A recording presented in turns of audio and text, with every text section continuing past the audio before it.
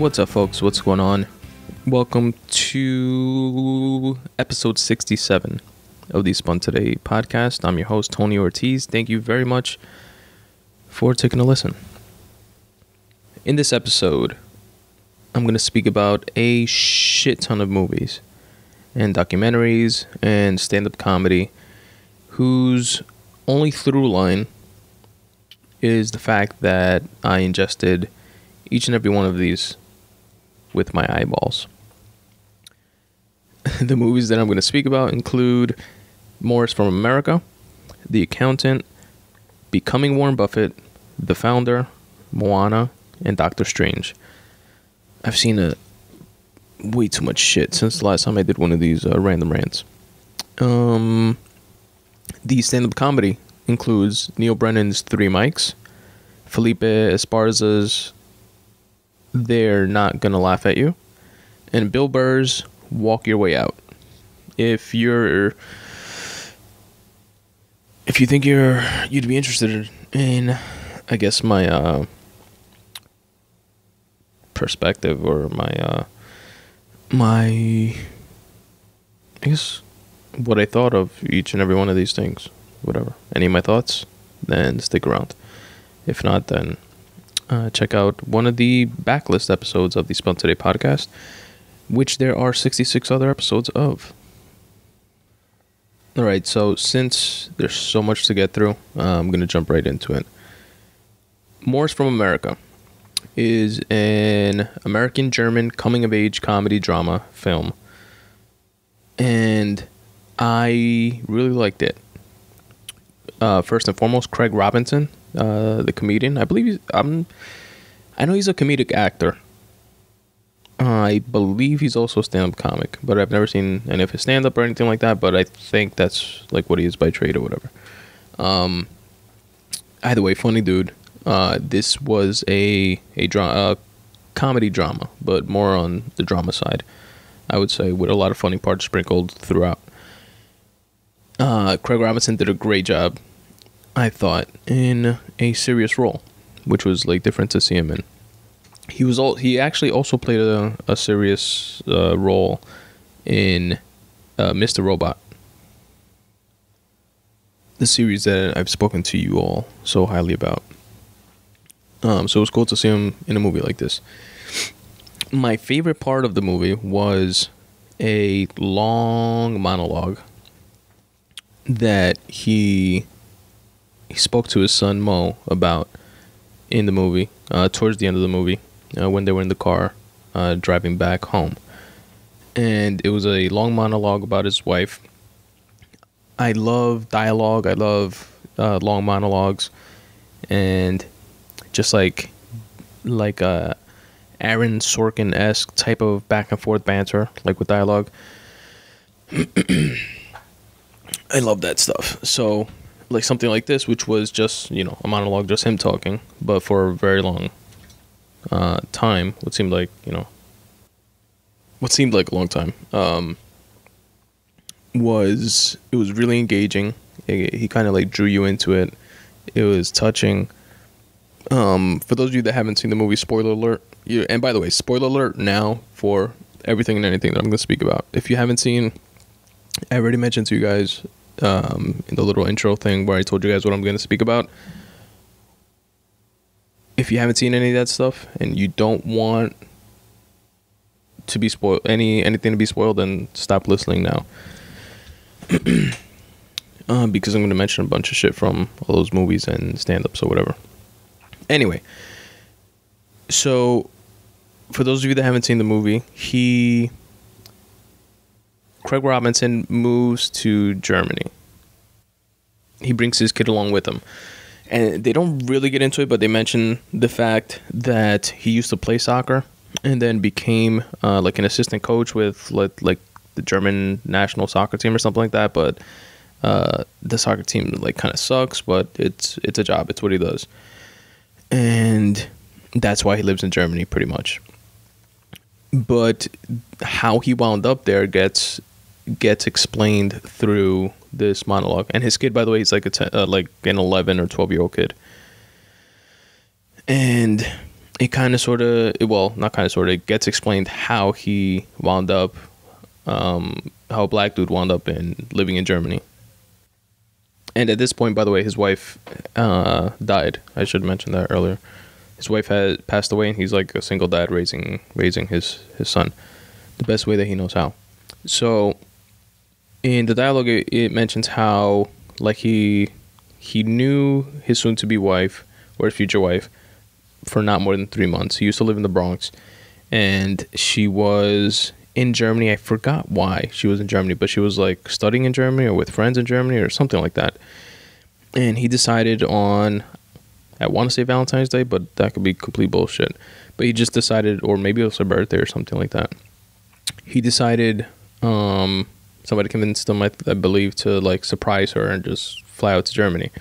And he was like completely into this chick, and he decided it would be this like romantic, you know, great type of, of gesture to do, and and he would wind up getting the girl. So he follows this line of thinking, flies out to Germany, doesn't speak any German, and thinks apparently that you know Germany is like you know a small town or some shit because he just flies there and thinks that he's just gonna find her and like just ask somebody, I guess, you know, have you seen a black chick? And then like go, you know, they'll be like, oh yeah, I saw her, you know, earlier. She's around the corner. So he flies out. He's describing, you know, he's nervous. He doesn't know uh, what he's looking, you know, how to find her or or whatever. So he bumps into a a couple that helps him out a bit and then mentions to the to the kid, you know, you remember, you know, Joe and Susan. I don't. That's not their real names or whatever, but you remember Joe and Susan. You know, you met them when you were six or whatever, and you know, it's a couple that he's still friends with today, and mentions how they he asked them, you know, how to get to the university. They actually offered to drive him there, and they did. And he was like in the university town, uh, searching for his future wife and to surprise her. And um, he says how you know he went into restaurants and into into hostels and hotels and little bars and he went everywhere looking for her and and um, he was just tearing up that little little town up, little town in Germany up, little college town up, and um, searching for her, searching for her. And then he sees her finally, and she's like standing on a corner, uh, waiting for a cab and she spots him. And he says how she turned to him she like her jaw dropped and he was like she looked so amazing. She was like the hottest woman in all of germany. And that the first thing that she said was i hope you didn't come here for me. And then um he was just like quiet i guess or whatever. And then she just like jumped on him and hugged him and and the rest is history and because of that, he stayed in Germany, started playing soccer. Apparently, be you know was on a soccer team, and uh, became wound up becoming uh, an assistant coach and moved back to America. I'm guessing when when she died. I don't think they explained that. And then wound up actually wound up moving back to Germany for the job, for the uh, the soccer job or whatever. Because um, the kid grew up for large part in in the states. Um. Anyway, that that scene that when he's having that that monologue that was like my favorite part of the movie because one it like helps tie the story together. And, you know, you kind of sort of wondering like why they live there. Um, and you know you kind of get the idea that it's because of the job the the father's job but you don't really get it you know like how do you wind up halfway across the world for a job unless it's like some bonkers, you know, balling out of control type of job. Also, he he uses that story as a parent to bond with this child who has you know he he seems like a, a good kid doesn't get into trouble you know does you know his schoolwork and his father must know that you know it's a tough time for him as well assimilating to to fucking Germany, you know, the kid from the Bronx living in Germany.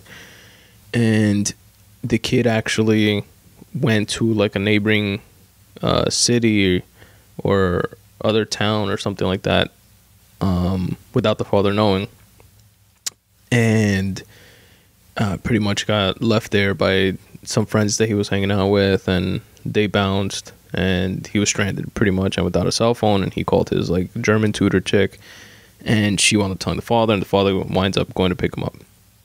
And he was surprised because he called the German chick, uh, the German tutor chick, and was expecting her to show up, and she didn't.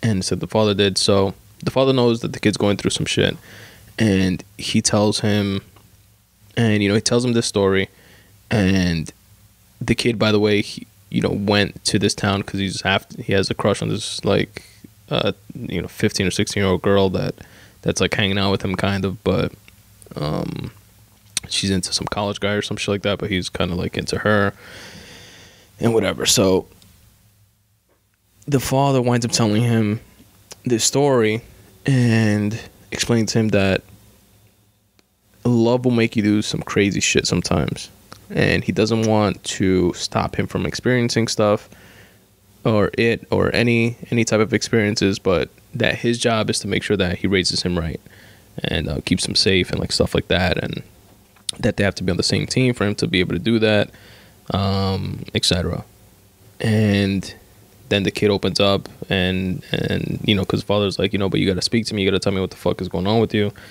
Um, and we have to be on the same team for this all to work you know I, I know it must be tough for you.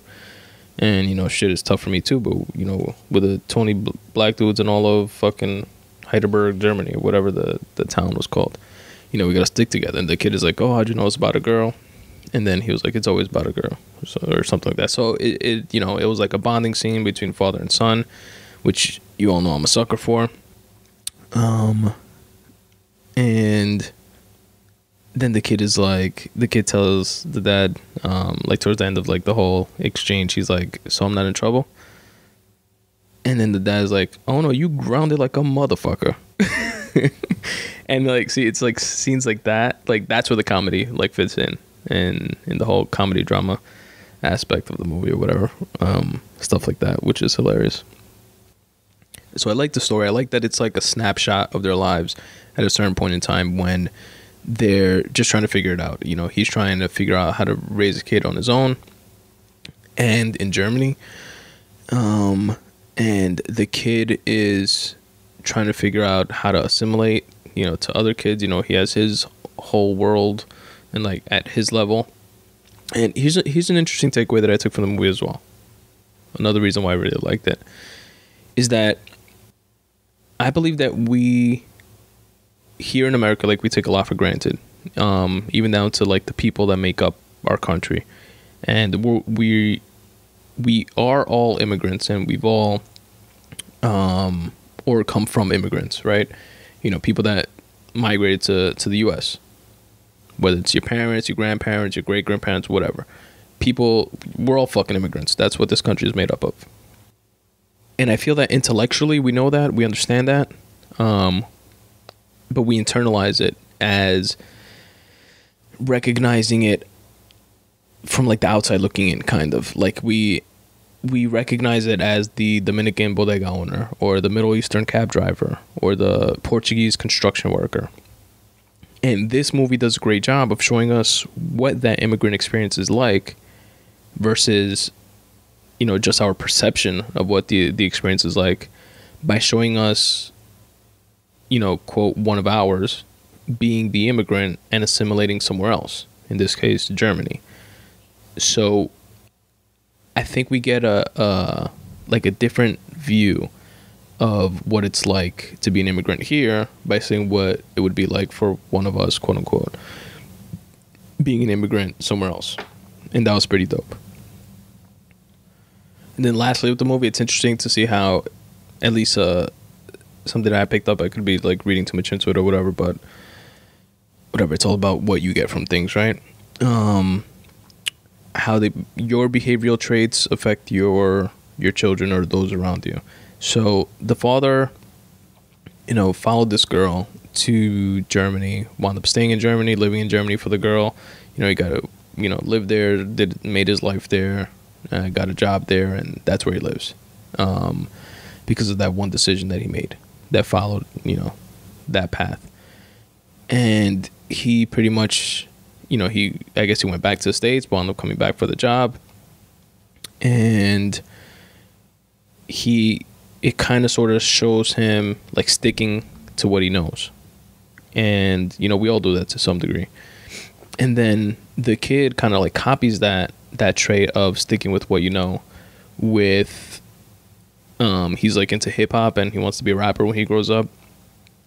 Um but and nobody around him you know all the the little white german kids are into like techno and edm and like that type of shit. And nobody's into hip hop um they barely know what it is.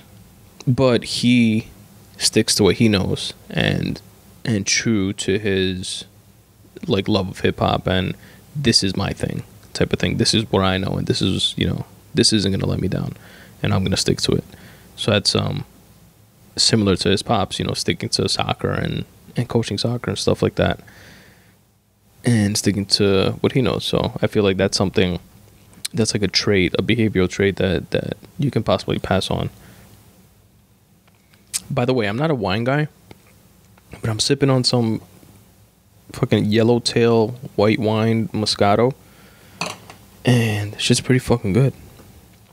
I gotta say. Anyway. Morris from America. Uh, that's my take on it. I recommend it, and you guys should check it out. Next is The Accountant. The Accountant with Ben Affleck.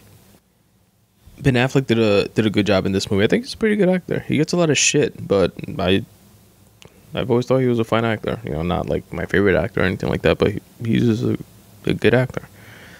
Um, I like this movie because I like I like there being conversation around things that are different, things that are are fascinating or or even it doesn't even have to be fascinating to me. Like just some like if there's a conversation about I don't know, pick something boring like uh, how to make wine aerators or something like that.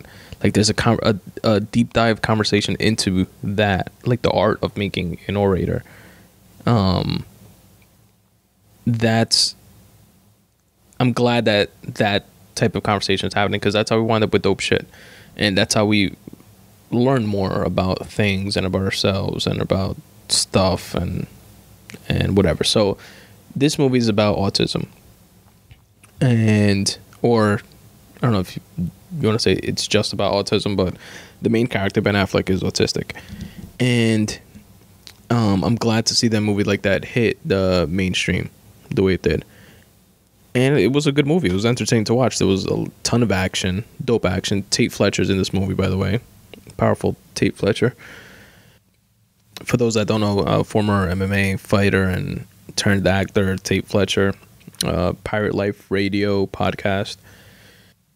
Uh, what was I gonna say? He's been in a ton. He like all the action movies. Like, um, what else? was he in the uh, that Keanu Reeves movie that that's like part two is coming out, and part one is actually surprisingly good. Um, Tait Fletcher was in that.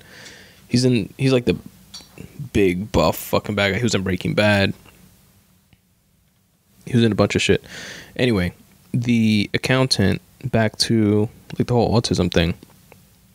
Aside from the fact that the movie was good and entertaining and kept you engaged uh, throughout it, um, just the topic of autism being explored in any way I like. And some people say that autism may be like a glimpse into the next level of human evolution. And I can't say I'm fully on board with that thought or claim or whatever. Um, but some some of the things that some autistic people can do is are is just like amazing. Like for example, um, and well before the example and there's also things you know people that suffer from autism that have debilitating traits. Um, and it's horrible you know it's a it's a obviously a wide spectrum. And i suspect that we're all on it in in some way on, on that type of spectrum just you know most of us are on the quote unquote normal side of it or I guess like more balanced side of it, or you know we could hide our little quirks more than others and and tendencies, etc. Um, but some autistic people do things that are like nothing short of like amazing, like superpower ish amazing. Um, there's an example that I like of Stephen uh, Wiltshire, who's an autistic artist savant. And I'll put a clip of him in the episode notes. Um, he's this dude that can draw things from memory. Like you can just look at something, see it, and and not like I don't know, not like a Mickey Mouse and then draw the Mickey Mouse. Like he literally drew the entire New York City, not just the skyline, not just like you know the Empire State Building and the the Freedom Tower, um, like the entire New York City, Manhattan from memory, and like the bridges, the buildings, the number of windows per building, the fucking ripples in the in the Hudson River, in the waves, and like every single thing, like s- amazing like that. And took him like three days to do, and he did it like from memory. And it's just fascinating to me to to think that the human brain is capable of things like that, and you know we find out about it through, um, you know, someone being wired quote unquote incorrectly or you know not normally. And and it's just interesting as shit man. We're weird people man and there's a bunch of different things like like synesthesia which i've mentioned before i think that uh i think i've mentioned it before. Um pharrell has synesthesia which is some sort of brain wiring that gets crisscrossed like in terms of like the five senses. So there's people that can literally taste colors like they, if they see the color red they get like a certain taste in their mouth. Or people that can that hear this is what Pharrell has it in this way that he hears sounds as colors. So it's kind of like when he's putting beats together and stuff like that he's seeing like a melody of colors and by putting the colors together in a certain way helps him make the beats that he makes that he produces. Um and there's a lot of weird shit like that man that goes on. Uh brain stuff by the way the podcast that i mentioned to you guys in the past as well has done an episode on synesthesia so you guys should check that out. And you know those podcasts are like less than 10 minutes long so it's pretty cool if you guys want to check it out. Uh, but anyway the accountant aside from that stuff it, it was dope and uh, i recommend it as well so check it out. And actually, let me segue into the next one by mentioning from the accountant that um, it's like is Warren Buffett technically autistic, but just with like finance shit, or is like Mike Zuckerberg autistic with computer coding? It's like I don't know, I don't know, man. Interesting to to think about at least. Anyway, that said, Becoming Warren Buffett is the next movie that I'm going to speak about. Uh, it was a documentary that HBO released, and he's fucking great. He's he's definitely the type of human being that you would, or I would, uh, like aspire to wanna to wanna be when I'm his age, and and uh, not just at his age, you know. Shit, I'll take fifty billion dollars right now but no, nah, I'm, I'm definitely not speaking about the money part. Although that would be obviously amazing, and and just to have success within within the something that you love, um, that aspect of it would be so dope. But just like the dope, uh, like the humble, caring type of person that he seems to be. Obviously, I don't know him personally and not just from this from this documentary, but a lot of interviews that I've seen with him. He he has a, a cool interview, by the way, with uh with a, a Forbes interview with Jay Z. That's old. I'm sure you guys have seen it, but if not, check it out. It's on YouTube. Uh, but just many like clips that I've seen of his and um, his uh, letters letter. He does a yearly letter to to Berkshire. That's all pu- like public. I've skimmed through a bunch of them, in the past uh, yearly letter to the uh, shareholders, and you guys can just Google and look up. Like in the finance world, people like speak about them a lot. I'll actually look for the latest one and uh, add it to the episode notes for you guys. Um, but just kind of that, I can't put my finger on it, but it's just like the I know I'm the best at this. I know I'm the like the don of this whole shit, but I never will rub your face in it. You know what I mean? Like I, I'll, I'll never be like that type of douchebag. Just let me do my thing and continue being the goat. You know what I mean? Like that type of approach that he seems to have um, is endearing, and I strive for that. Um, something interesting that I took away from this documentary is that I feel that he he's so like he, he even says it, and this is why I was saying like you know is Warren Buffett um autistic when it comes to finance shit. Like he even says it. He's like that his brain is wired in a way that he loves numbers and he can't get enough of them and he's and he sees patterns within the stock market and and by the way for anybody who doesn't know warren buffett is like literally one of the richest if not the richest um, man in the world um, and he's from omaha nebraska born and raised and still lives in omaha nebraska in the house that he purchased like in the 50s or, or something like that. He still lives in the same house, which is a very nice house, but it's you know it's not this like castle with a moat around it. You know what I mean? It's like a um, a nice un- but unassuming home, and he is you know constantly you know top one, two, or three richest person in the world, uh, back and forth with like Bill Gates and which is a good friend of his and people like that. So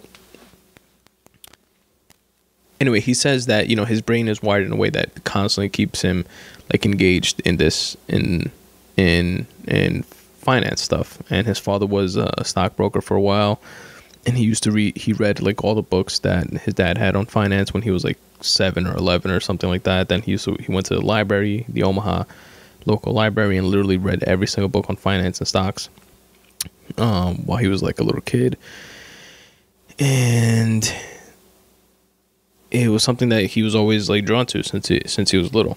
So he says that you know there's nothing special about what he does.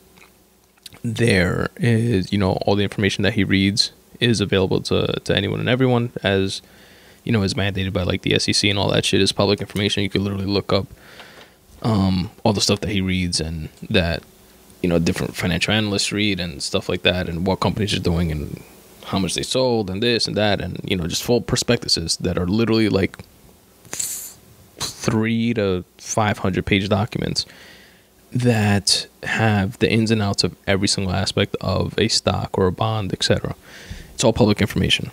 Um, he however is someone that actually reads through all this shit for he says i think he reads like six to ten hours a day. And that takes a certain type of discipline and passion that is admir- admirable and is why he is who he is. You know, he's willing to put in that work. Aside from the fact that, you know, he's obviously like gifted or or, you know, wired for it as he puts it. And he's very calculated, very measured, very very even keeled. It seems like um definitely within the the finance world, and he's a, a long investor, meaning that he doesn't, he's not looking for the uh, the stocks that will or the company that will, you know, turn a quick profit. He's like in it for the long haul. He's an investor in companies like American Express and Coca Cola and like railroads and you know, um, what like the Washington Post, like institutional, like you know, print newspapers something something that shows I, I felt like his human side uh, in watching this documentary. And something that I noticed is that some of the biggest decisions that he made were completely driven by emotion which is kind of like diametrically opposed to how he acts within the his work, his passion, you know, finance, and how how willing he is to say, "This is my strategy, and I'm going to stick to the strategy for 30 years, no matter what." Even though the market tanked in 2008, like he still stayed, um, you know, with his with his strategy, and um, now looking back at it, he regained uh, certain ground and is you know back on top and one of the winningest investors in all of Wall Street. So, but these there's two specific times that I felt that he did two things that were driven purely by emotion, and that kind of kind of changed his life and changed the trajectory of it. So for what it for what it's worth, these are the two things that, that I noticed. One is when his father died. So he mentions how he he purchased stock in Berkshire Hathaway, and it was a like a failing company. Uh, Berkshire Hathaway, by the way, is the name of his like investment company, but but it wasn't like an investment company at the time. It was I forget what it was. It was some sort of like factory or something like that. But it was like closing factories, and he was just like buying stocks in it because he knew that they would have to like close enough factories to like repurchase stocks, and then in doing so, the stock price would go up or something like that. Some weird like financial maneuvering, and he wasn't wrong. So he um like purchased this stock and then in his company and then he told like the the shareholding management or or whatever the board that he would sell it at like 17 17 dollars or 17 and a half dollars or something like that that's a sale price and then they came back and they sold it at like 17 dollars or they tried to fuck him out of like some money but like in a dirty way like that. And he got so pissed that he wound up like buying and a shit, uh, you know, enough stock to to be the majority owner of the company, and then he got rid of the entire the the entire board and and put in a, a new management team basically, and that's how he acquired uh, Berkshire Hathaway, which is now the name that's pretty much synonymous with with Warren Buffett. And in the documentary, he mentions how he didn't realize it at the time, but that his father had passed away um, like five days before then, and that he feels that that had something to do with his irrational way of of acting. But obviously, it turned out to be like an amazing thing for him, even though you know he would have gone on to do other things, and you know we just wouldn't know the name Berkshire Hathaway. It would have been Warren Buffett's fucking investing co. or something like that. Um, but I found that interesting. Then the second um, emotional decision that I, that I felt drove a very significant turning point in his life. I'm gonna mention in a second. So he, before I mention it, he, you know, he knew he had this gift for money. He's not. He's a very unassuming person. Like I said, he lives in the house that he bought like when uh, in the 50s or something like that. He still lives in it to this day he fucking eats McDonald's for breakfast on his five minute drive to the office in Omaha, Nebraska, where he again was born, raised, and still lives. And his wife was, which was a, she was into like philanthropy, and he was always doing, she was always doing volunteer work and and part of the, the civil rights movement.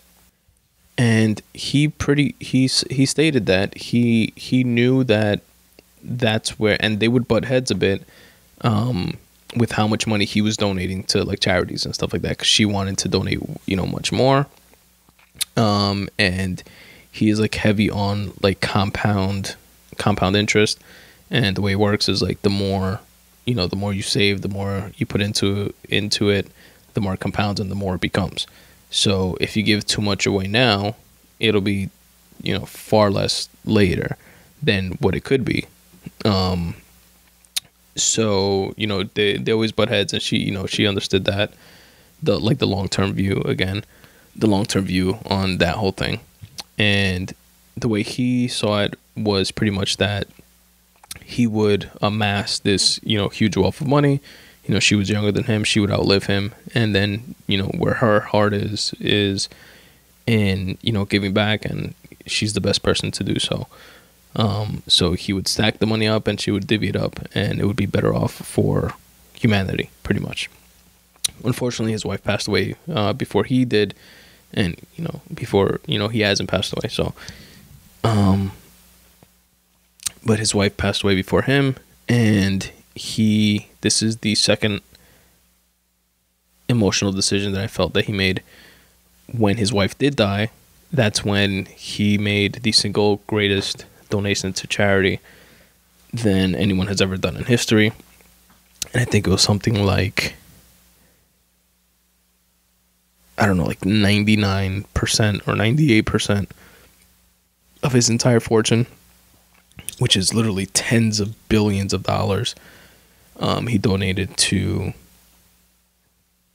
the Bill and Melinda Gates Foundation, which again uh, is a good friend of his, and Bill and, and Melinda Gates have have um, they're deep in that foundation shit, and he felt like you know who better than a friend of mine that I know is is going to do the right thing with this money, and he donated the the bulk of his fortune to them, and as well as to his three children who have their own foundations and their own charity charities uh, going on, and um, he's just an amazing individual to do something like that. I definitely respect that, and highly recommend it. So check it out. It's called Becoming Warren Buffett on HBO. He's not a piece of shit like Ray Kroc. I'll tell you that. So the founder, the movie The Founder, is about the quote unquote the founder of McDonald's the franchise, the fast food joint that poisons all of us. I could definitely go for some McDonald's fries right now and an apple pie. Um so Ray Kroc was played by Michael Keaton, who did a, dope job. Michael Keaton's the man. I like him. He's a great actor.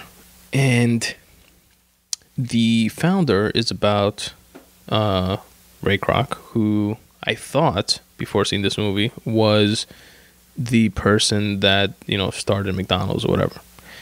He started the McDonald's that we all know, but he didn't start McDonald's. He stole McDonald's. He's a fucking thief, piece of shit thief. This is the type of of like Steve Jobs esque type of douchebag that I hate within the business world. Like I don't like people like this. Like the the people that are like, well, to get ahead, you gotta fuck people. I'm like, no, you don't. You piece of shit. You don't have to fuck anybody over to get ahead. You could get ahead by fucking people over, but that doesn't mean that that's the only way to get ahead.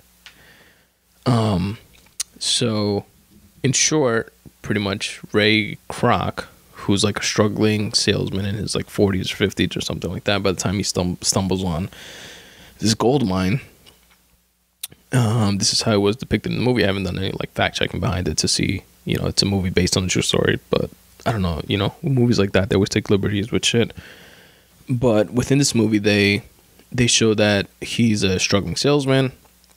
He stumbles upon these two brothers, uh, something and something McDonald, who started a a burger spot, and you know they used to have like a hot dog spot and a, you know just a a restaurant, a food restaurant, and then it transitioned over the years into this burger spot because they realized that the most of um, the revenue was coming from burger, uh, soft drinks, and fries or something like that, like the sales of those three things. So they cut everything else off the menu.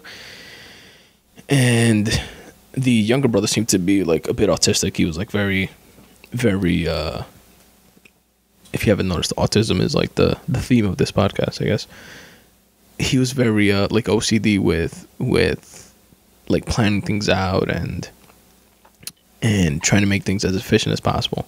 So he found the most efficient way to make burgers and you know make the three things that that sell. And he dubbed it like the speedy food system or something like that, the speedy rack. And pretty much compartmentalized all portions of making the fast food. So instead of one person making an entire hamburger, like one person would work on the patty, one person would add the the ketchup and and whatever on it. Somebody else would add the pickles on it. Somebody else would do fries. Somebody else would do this. Somebody else would you know man the the orders, etc. So uh, Ray Kroc stumbled upon this. You know, he long story short convinced them to franchise it and give them give them the ability to franchise more. And Ray Kroc started like selling this shit like hotcakes, and it went national, it went worldwide. Um, and Ray Kroc eventually, by the recommendation of an attorney that he wound up bumping into, started. He created something called the McDonald Corporation Company. Now, it, it wasn't you know, he wasn't the owner of McDonald's. He signed the contract saying that he, you know, he wasn't the owner or whatever. He was just a franchisee, uh, franchising the idea of the two brothers. But he started something called the McDonald Corporation, which was a quote unquote leasing company. So Ray Kroc was selling like these McDonald's franchises to a bunch of people, but he wasn't making any money off of them. But those people were making money, but his cut was like too low to like make any money any real money. So what he did was instead of leasing instead of, you know, leaving it up to the individual franchisees to go find like a place to lease, he would buy the land. He bought the land that the people were uh, the franchisees were building McDonald's on. So if somebody came to him and says, "Yes, I'm down do a franchise," he'd be like, "Okay, good. I have a I have a, a spot here that you could build on." and then in essence becoming like the landlord. So he started making buku bucks, and um, long story short, wound up fucking the two brothers out of it, out of the McDonald's name because he pretty much became the face of it. You know, hundreds of franchisees knew him as like the guy that started it. Nobody knew who the fuck the two brothers were. And he made an offer to the to the uh, two brothers after one of them had a heart attack. He was an opportunistic piece of shit that wound up, you know, going to them in the hospital, and instead of giving his condolences or sorry or whatever, because the guy literally had a heart attack from like arguing with him over the phone, he uh, goes there and offers them uh, money to to completely buy the McDonald's name or whatever, and he does, and he did.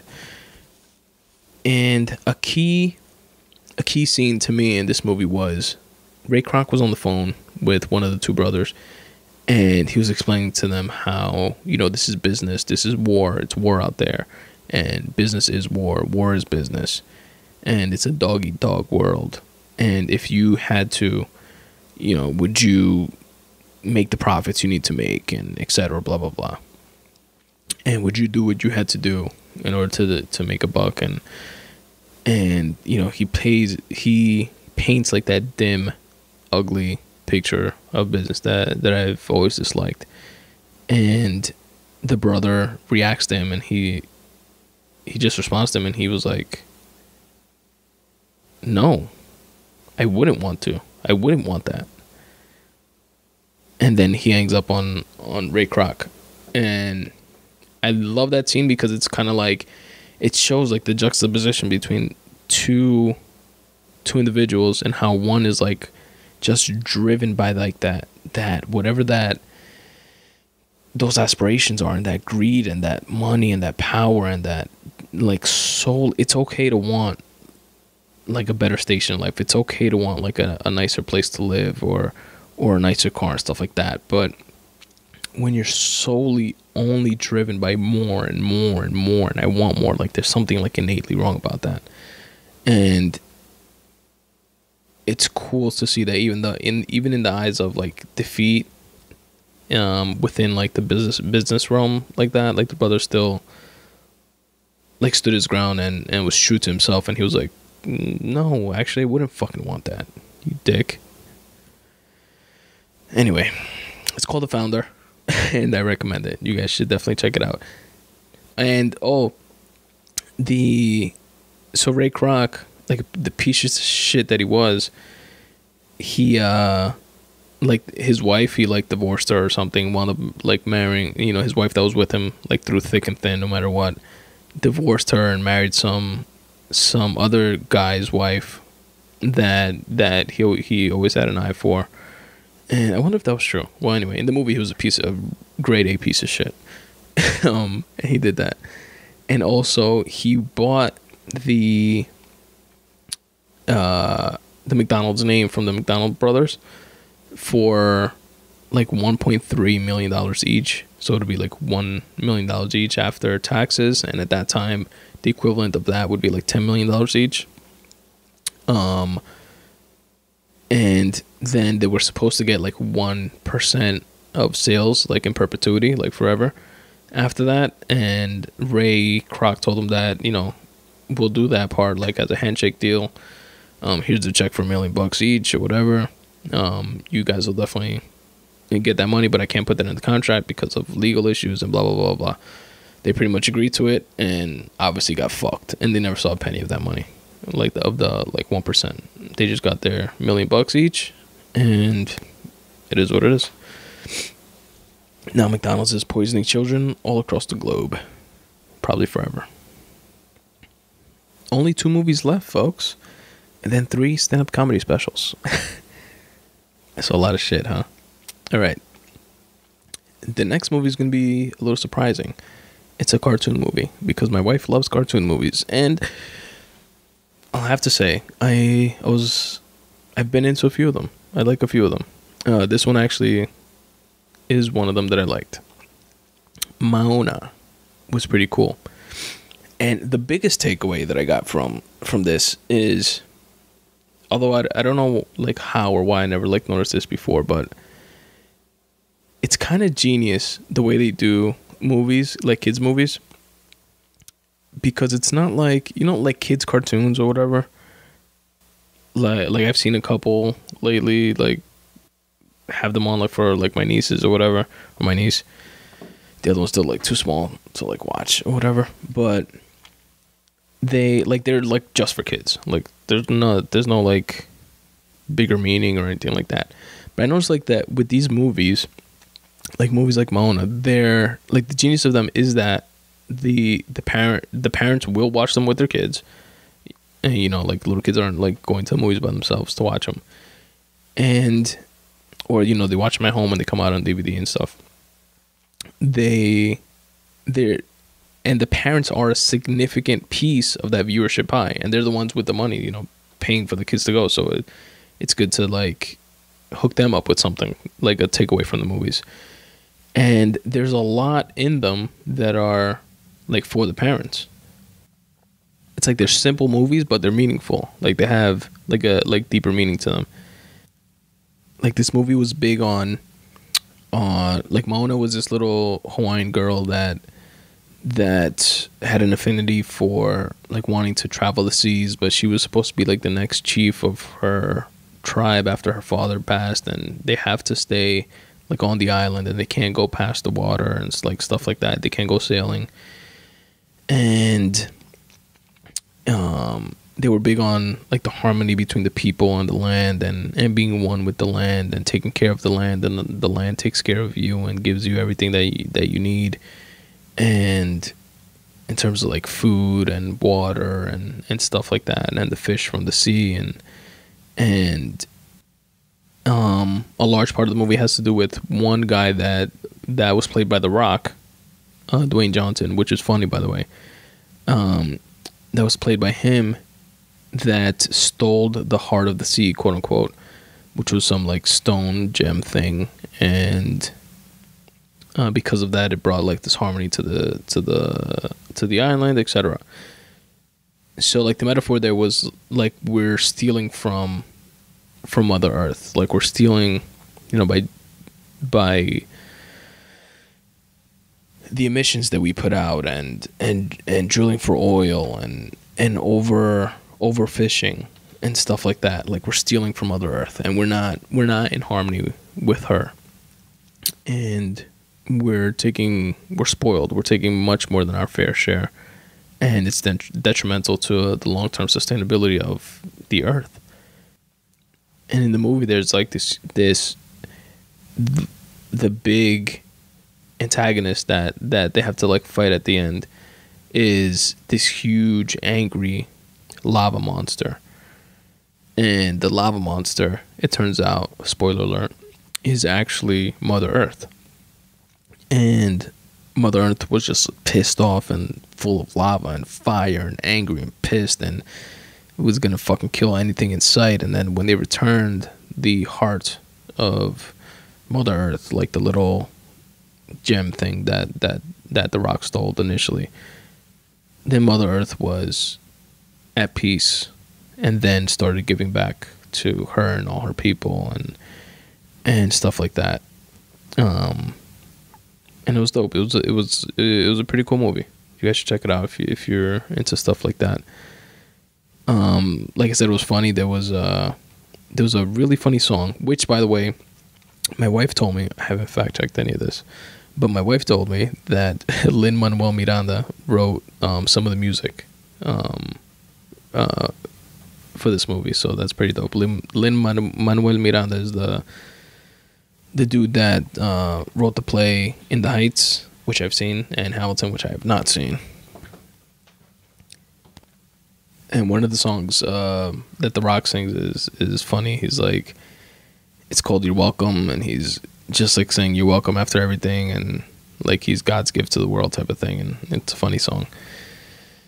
Um, maybe I'll see if I could play it like at the end of this episode, uh, during the credits, uh, during the uh, sponsorship phase of the episode or whatever. Um, what else about this movie? Te Fiti. Te Fiti, I learned, is a Polynesian word that means a faraway place. Um, I kind of took it as like a metaphor, metaphorically meaning not just a faraway place, but a faraway goal, like something you're trying to obtain.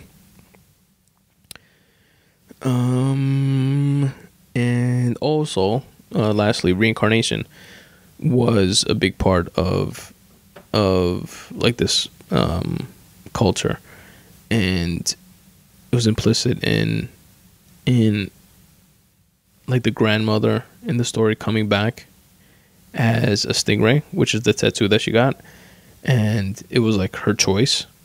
Um, I thought that was interesting. It was her choice to get that tattoo because that's what she wanted to come back as. So it's like so understood that you are going to come back as something that you get a tattoo of what you want to come back as, and you come back as it. Um, so that was interesting too. That was an interesting thing. And that was it. It's called Maona, M A O N A. Uh, check it out. Oh, and they had little minions, but like in the form of coconuts. Like you know the minions from from what's that fucking cartoon movie, which was good also. I think there was two or three of them. Um, Despicable Me. Those movies, the little yellow minions, like they have in Maona, like their version of, which is kind of like biting off of them, but it, they were cool. It was funny too. Um, instead of minions, they were like little uh, coconuts, coconuts that could walk and talk and fight, and they were like angry little fuckers, and they were like pirates pretty much. Um, so it was kind of funny. And that's it. One more movie, and then we'll go to the three stand-up specials, and then end the episode. Doctor Strange is the last movie that I've seen that I'm going to speak about in this episode. And there was a really good scene. I, I like the movie. I thought it was pretty good. This is, too many people bitch about superhero movies. Like, it's so unrealistic and this and that. It's a fucking superhero movie. Like, no shit, it's unrealistic. Anyway, Doctor Strange, I thought it was pretty good. One thing that I found annoying at first but then kind of like refreshing. Like I, I appreciate them taking like the chances with it. Is like the the comedy aspect that's woven into these superhero movies now. Like like uh Deadpool was like straight comedy. It was like mad funny like throughout. Um, but it was the first time kind of saw that like levity within a, a superhero movie. And then in Doctor Strange, like they had like little scenes like that were like Deadpoolish as well that I thought played pretty well and just like with mentioning Doctor Strange is like telling some like Buddhist monk dude like, "Oh, what's your name?" and he tells him, and then it's just like a one name, and he was like, "Oh, so it's like like Adele, you know, like a one name." And the guy's looking at him like, "What the fuck is Adele?" And he's like, "You never heard of Adele? How about Drake, Eminem, Bono?" You know, he was like saying stuff like that. It was like funny shit like that. It was pretty cool. Um, the what was dope visually. This is what I like the most about the movie. It was visually visually really awesome with the the style of the uh, manipulation inception style surrounding manipulation you know like in the movie inception when like the buildings bend and like stuff like that there's a lot of that going on in this movie and i think it took it like to the next level of that whatever that style of, of cinematography or whatever it's called. And that was really cool. Also um the scene where he meets the bald buddha lady is what i imagine a dmt trip is like. And you know it's been like i've heard of what the experience is like like on different podcasts and stuff like that.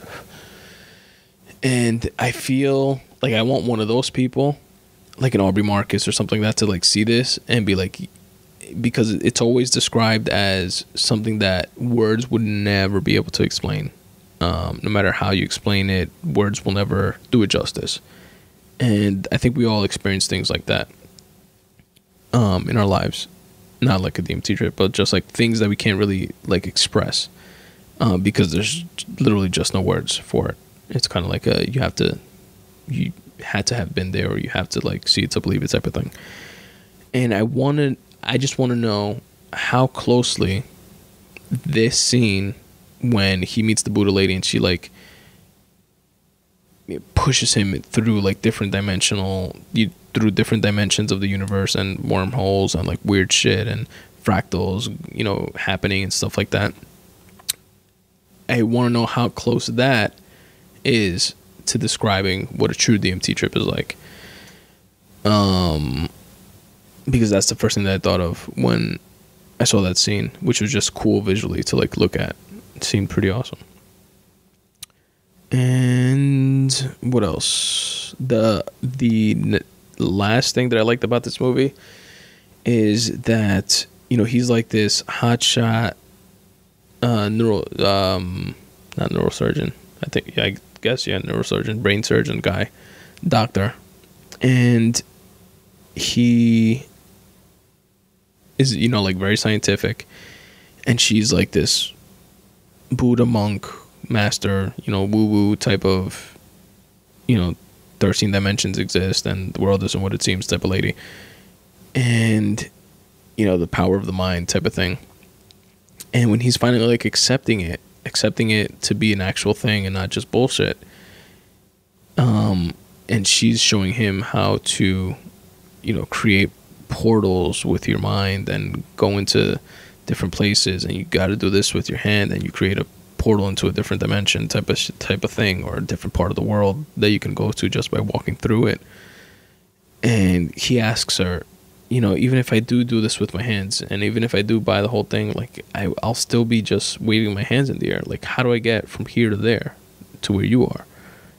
And she asks him, "How did you become one of the greatest surgeons in brain surgeons in the world, and that could reattach, you know, nerve endings from the spinal cord to to the brain, etc." And his response was, "Years and years of study and practice. Like years of it, many, many years of it. And she kind of looked at him like, yeah, that's how. Like, in other words, saying, the way to answer your question, the way you get from there to here, to have the ability to, to, you know, do these portals and fucking go through them into different dimensions is through years and years of study and practice. Like, there's no secret sauce to it. Like you just got to do it, and I love hearing stuff like that, even if it's in, within this fake, you know, movie world or whatever. But just like that sentiment of it always takes hard work and deliberate practice to get to where you want to be. I love shit like that. I eat shit like that up. Anyway, Doctor Strange, another movie that I highly recommend. And that said, those are all the movies I had to speak about. And I'm already at an hour in this episode, and I gotta tell you guys about three stand up comedy specials. So I'm gonna speed it up just a tad. Uh, not too much though, not to not do it justice. But anyway, I'm gonna start off with literally my favorite single most thing that I've watched in a long time. And by single most thing that I've watched in a long time, I mean like as a body of work compared to movies, TV series, other stand up comedy specials, a- anything. Three Mics by Neal Brennan is the best thing that I've seen in a long time, including all the movies that I just mentioned, all the movies that I've mentioned in the past, or other stand up comedy specials, etc., etc. It's called Three Mics because there's literally three mics on stage, and he does three distinctly different things throughout the the stand up performance. It's available on Netflix, by the way. And I put a the trailer to it within the episode notes if you guys want to check it out. Um, so there's three mics. One is for one liners. One is just straight stand up, and another one is emotional stuff. For those of you that don't know who Neal Brennan is, he is a stand up comic, uh, headlining comic, and he is the co creator of The Chappelle Show uh, with Dave Chappelle. He was his writing partner in that show. Between the two of them, they equally produced it. Uh, you know, wrote all the sketches and stuff like that. Um, he's also directed like Nike commercials, and he's like the voice for like Samsung commercials and stuff like that. He does voiceover work, and he's a really funny and versatile, talented dude. He's a writer also. Um, he's written on other TV shows, etc. So he's definitely he's a talented dude, and I just thought that this performance was really thought out, really really thought out, really thoughtful. Um, it was funny, obviously. He's a really funny guy. It was deep, um, especially with the like emotional stuff, which uh, he was really open and honest about. Um, it showed his, his versatility, and it was just like an emotional roller coaster. Like you're laughing. You, um, he's like uh, clinically depressed person. Like, um, what's the word I'm looking for? Um, not like he's sad all the time, but like you know, like oh, it's raining out. I'm sad. Um, but like clinically takes medication, certified depressed or whatever. I don't know how to explain it more than that. Um, and it was just it. Was, I've I saw it once, and I've seen uh, different clips of it after, and I definitely it's it's one that that's worth a second and third watch, and I'm definitely gonna watch it again probably soon. Like I said, it's my favorite thing that I've seen in a long time, and it might not be something that you're into, but if you are, if you like stand up, if you like, um, if you like, I don't know, just like taking a deep dive into somebody else's like emotional world and someone's head and in a very creative and thought out, thoughtful way, then uh, check it out. It's called The Three Mics by Neal Brennan and it's on Netflix. Next is Felipe Esparza's They're Not Gonna Laugh at You. Felipe Esparza is also a headlining stand up comedian. I think he's a headliner. But he's definitely a funny funny comic. Um, well, he's definitely a headliner. Um, I stumbled on his special. I've I've heard him on different podcasts, and I've never seen any of his stand up. He's been on uh, Joey Diaz's uh, Church of What's Happening Now, and I believe he's also been on um, uh, uh, podcast, the Bertcast.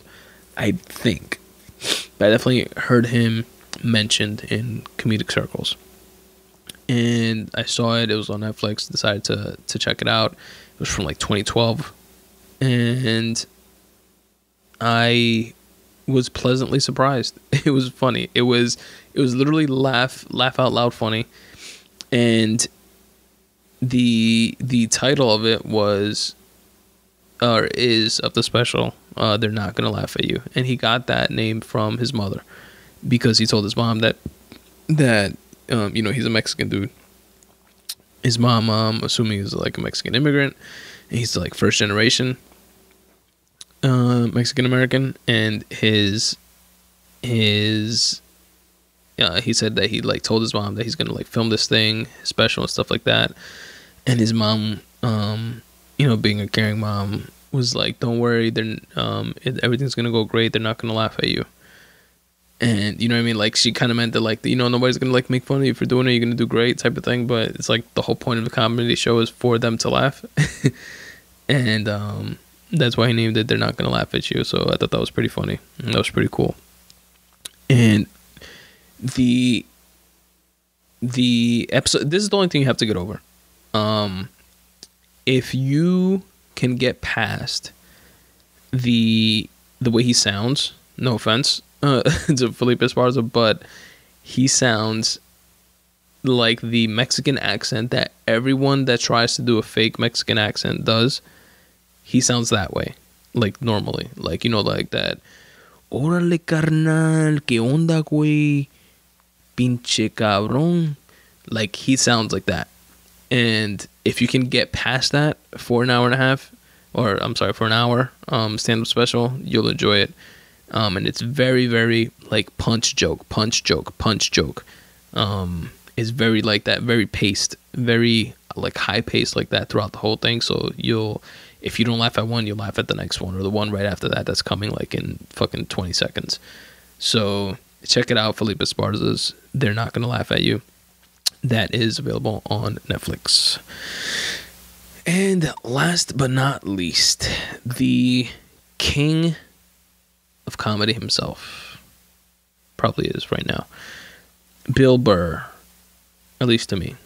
Bill Burr's new special is available on Netflix. It's called Walk Your Way Out, and it's awesome, of course. Bill Burr is definitely a master at his craft, and he's the best kind. Like we we've spoken about in this episode, you know, he's humble, self-deprecating, um, definitely non Ray Kroc-ish, and um, and he kills it. I didn't like it as much as his last special, but but take that with a huge grain of salt. I'll tell you why. It's great. It's a five star special. Absolutely. Um, but I went to see him live when he came to New York and he played at MSG and sold the fucking crowd out. Um, and not in the little, little theater, by the way. It was the like the stadium.